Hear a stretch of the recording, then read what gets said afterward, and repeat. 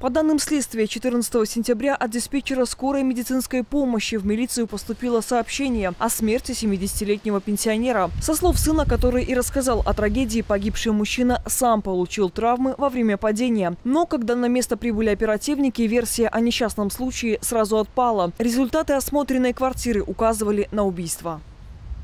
По подозрению в совершении данного убийства задержан 47-летний сын погибшего. Мужчина подтвердил факт избиения своего отца, после которого последний скончался на месте происшествия.